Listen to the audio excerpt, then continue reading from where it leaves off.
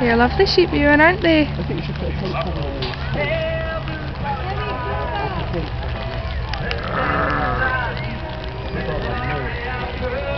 But she doesn't have tent covers, does she? No.